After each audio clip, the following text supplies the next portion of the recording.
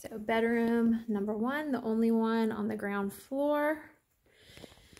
It's the smallest of the bedrooms, has the smallest closet and leads, there's the door into the bathroom, full bathroom that that person would use and then all of your company would use as well. And then to the living room. Um, here's a coat closet and goes back pretty far. There's your living room, dining area. Living room leads out to the screened-in porch.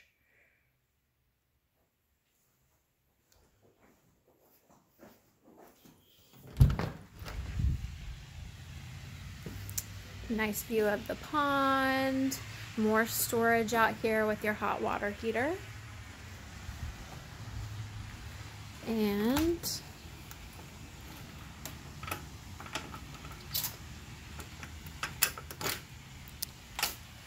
we have the pond, tennis courts, basketball courts,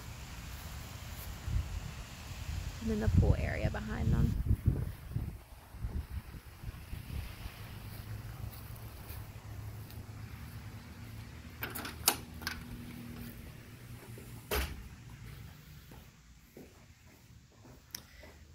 kitchen is in good shape. The pantry.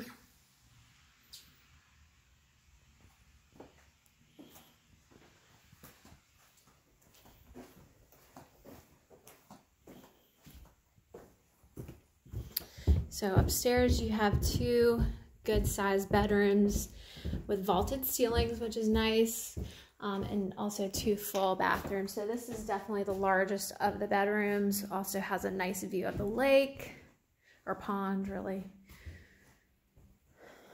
And double two closets. And bathroom with a walk-in shower.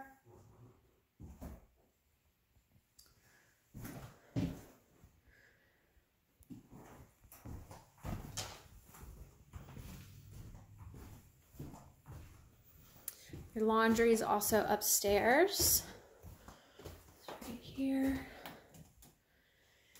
And here is the third bathroom.